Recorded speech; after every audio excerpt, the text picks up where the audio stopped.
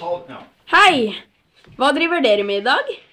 Eh, I dag driver vi med fasteaksjonen for Kirkens Nødhjelp, faktisk. Hvorfor det, da? Fordi folk i andre land eh, sliter med store katastrofer akkurat nå. Og vi må få noe penger ned til de landene så fort som mulig. Men hvem er disse folkene? Eh, Det er vel ikke folk, det er vel rett og slett landene som lider. Som f.eks. Haiti, Chile, Hawaii. Som Hawaii nå, da, som ble rammet av en veldig stor flodbølge og stort jordskjelv. Så du mener at dette er en viktig ting? Ja, helt klart. Ok, da sier vi tusen takk. Til